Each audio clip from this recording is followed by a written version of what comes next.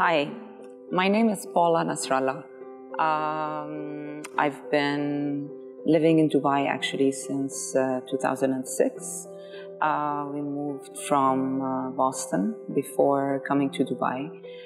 The world of cancer came into my life um, uh, way before I came to Dubai. Uh, unfortunately, I lost my sister to breast cancer, and that's how I became um, very aware of what breast cancer is all about.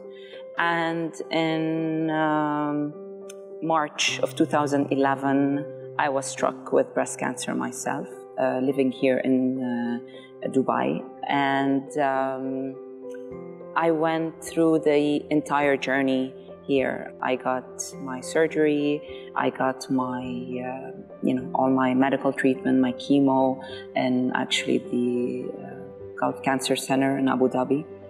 And um, that was the beginning of my, my personal uh, journey with cancer. Um, I caught it because, you know, my sister had had it. Thank God it was early stages.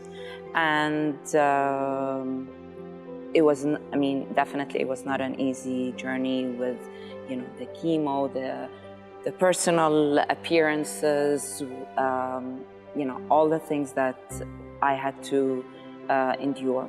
But I feel, you know, that was my kind of my fate that I went through it because it kind of um, woke me up and made me so aware that I was really lucky that I got it so early and I'm here that I can help others.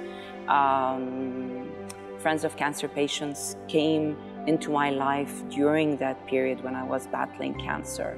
And I got to see through their eyes what they do for their patients, which just encouraged me and made me even stronger that I need to have a voice. I need to uh, make my story live and make people understand that I know what they're feeling. And I started my journey also with Friends of Cancer Patients.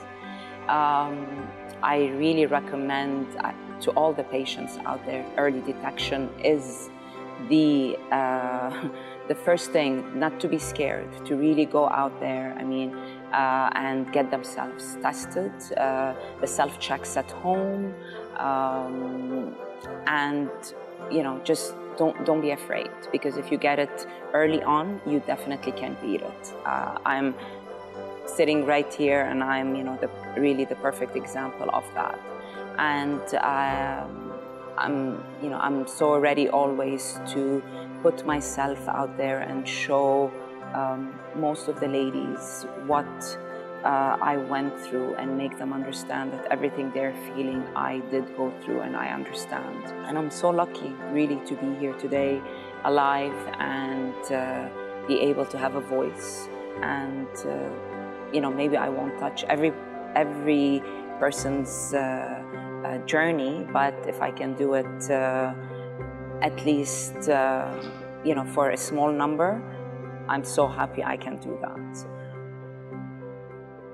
And yeah,